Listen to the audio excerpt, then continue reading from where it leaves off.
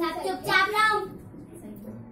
देखिए आज हम पढ़ेंगे वॉइस है ना? तो you just know how to change the voice active to passive passive to active है ना? तो active to passive you all know all the tenses are called active voice and you just to going to change this sentences into passive तो आपको देखिए क्या करना पड़ता है कि स्ट्रक्चर फॉलो करते हैं हम. Object helping verb the third form, rest part of the sentence, by और subject. ठीक है?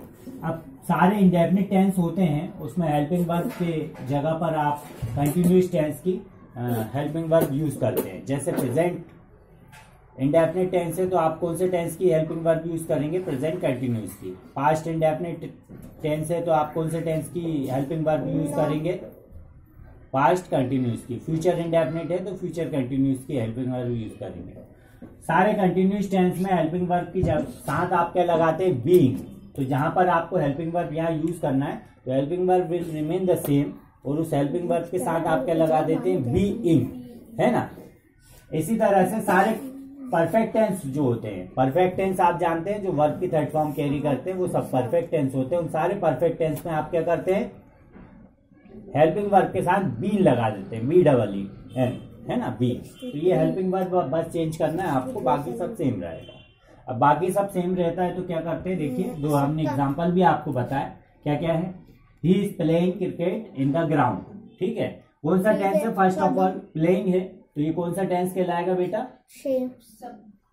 कंटिन्यूस टेंस कंटिन्यूस टेंस है ये और इसके कारण प्रेजेंट कंटिन्यूस तो हम बनाते हैं। देखिए ऑब्जेक्टिव हमने सबसे पहले लिखा क्रिकेट उसके बाद helping verb will remain the same और चूँकि कंटिन्यूस है तो कंटिन्यूस में हम क्या लगाते हैं? बी और परफेक्ट में क्या लगाते हैं? बी फिर इसके बाद वर्ब की थर्ड फॉर्म प्ले की third form played rest part of the sentence in the ground by और ये सब्जेक्ट का आप सब्जेक्टिव बनाएँगे तो ही का क्या हो जाएगा बेटा? Him. है ना? ऐसा ही दूसरा we had bought a new car yesterday. कल हमने एक नई कार खरीदी। है ना? आप मिठाई मत मांगिएगा। ठीक है?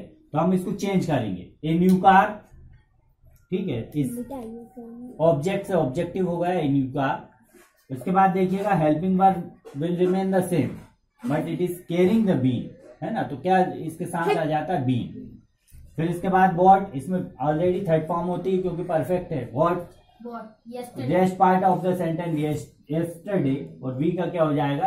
अस है ना? तो बेटा ये पूरा था, आप इसको थोड़ा सा याद कर लोगे तो हेल्पफुल होगा।